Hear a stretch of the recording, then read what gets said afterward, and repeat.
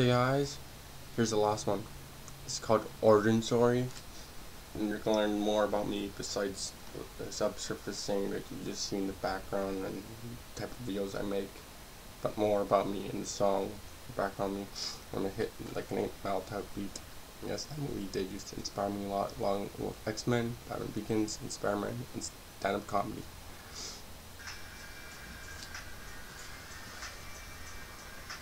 He was a baby born 99. The church thought he was a hell Satan. He was an angel. He became the devil back in the day. The only things that kept him sane was Eminem music, stand-up comedy. He flipped through TV, Spider-Man and Batman Begins movies. He found that was a different man. Let's find the trail. His parents had to work overtime, put food on the table, roof over the head. So I can read fables. A baby looking for love, only scaring the ladies off. Went camping, whether it was the shadow of Tim Hortons camp kind of kid. He was nervous and shy, so his ass was planted to the surface. He wasn't blind enough to dodge hits. Blood used to emit fear. All the years thought I was none. Since 2001, I was only one. I wasn't the only one in 2010. Pre year before I become an addict to two things, music and comics. Fuck logic destroy a laptop by accident because I'm stupid. Oh, Cupid couldn't fix me up. For years, his parents wanted a better life. Got bullied, became a bully. Giant must have been a better night. 2013. I wrote this letter to pass the sale. You lacked respect back then. You didn't even give me a shot. And bad talked me behind my back. I had to act, react, shape up. Sorry, I should fall back to my false hope.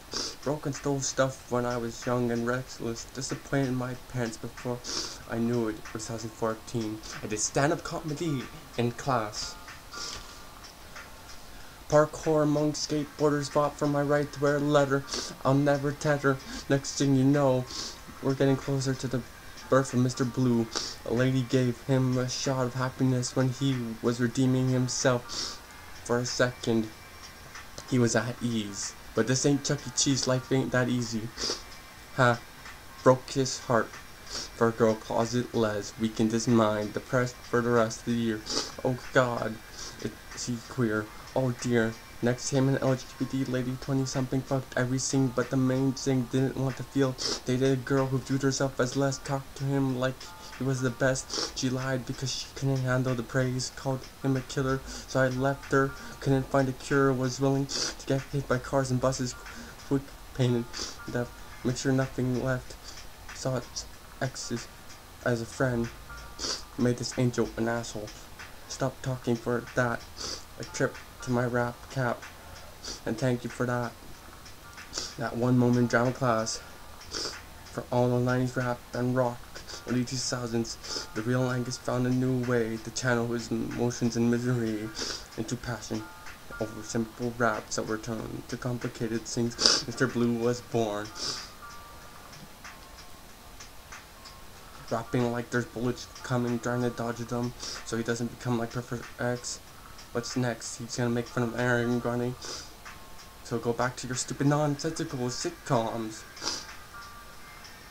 Where Brad Paisley could easily mock you while rolling in his dough in his pickup truck. You'll never toughen up, you're too busy sucking a dick, you fucking duck. Face twat. Cause Mr. Blue's here to come laugh at you, and that's how Mr. Blue was made. That's how he is. That's Mr. Blue, the origin story. And yep, that's the song. That's the last song. Thanks for watching.